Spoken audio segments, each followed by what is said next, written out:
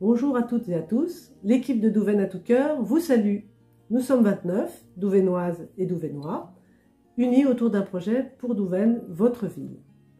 Dans cette équipe, 5 adjointes et adjoints sortants et 7 conseillères et conseillers actuellement en poste également.